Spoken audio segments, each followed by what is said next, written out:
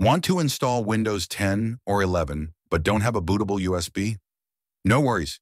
In just a few minutes, I'll show you how to create a bootable USB drive using Rufus, the fastest and easiest tool for the job. First, head over to the official Rufus website. Just Google Rufus Download, click on the first link, and download the latest version. It's lightweight and doesn't even need installation. Now plug in your USB drive. Make sure it's at least 8 gigabytes. Open Rufus and it will automatically detect your USB. If you have multiple drives connected, double check that the correct one is selected. If you choose a device that contains important data, it will be formatted. To avoid data loss, first verify the drive. Here's how. Open this PC, check the USB drive label, and match it with the device selection in Rufus. As you can see here, in my case, the USB device is labeled Technical Junaid USB, and the same label appears in Rufus. This confirms that the correct drive is selected. In the boot device selection, choose Disk or ISO image, then click on Select. Navigate to the location where you've saved the Windows 10 or Windows 11 ISO file and select it. Wait for a while as Rufus verifies the ISO file. In the Image Options section, select Windows Standard Installation. This is where many people get confused, but I'll make it super simple. Just follow these steps carefully to understand it easily. First, open the Disk Management utility by right-clicking on the Start menu and selecting Disk Management. Once Disk Management is open, select the disk where your current operating system is installed. Then, right-click on the selected disk to proceed. Click on Properties, now go to the Volumes tab, and here you'll see the partition style listed as either GPT, GUID partition table, or MBR, master boot record.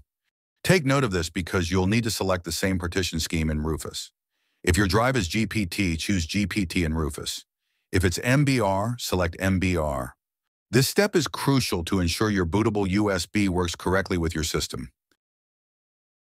Once this is done, you don't need to make any changes in Rufus. Simply leave all settings as they are and click on a Start to begin the process. A Windows User Experience window will pop up.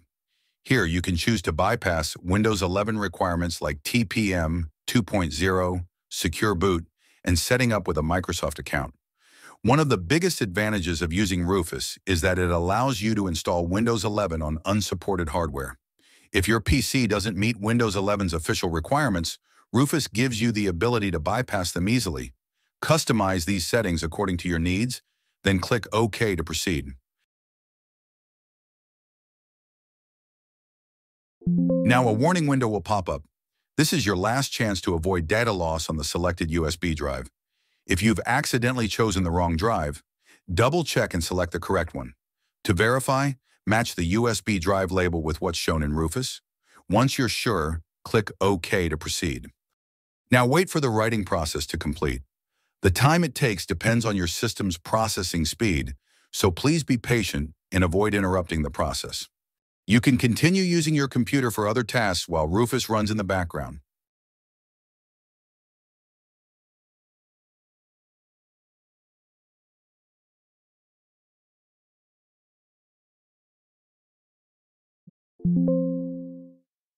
Once you see Ready in Rufus, your bootable USB is successfully created and you're all set to install Windows 10 or Windows 11. So friends, this was a tutorial on how to create 10 or Windows 11 using Rufus. If you found this video helpful, don't forget to like, share, and subscribe. Also, hit the bell icon to stay updated with the latest tech tips and tutorials in the future. Thanks for watching.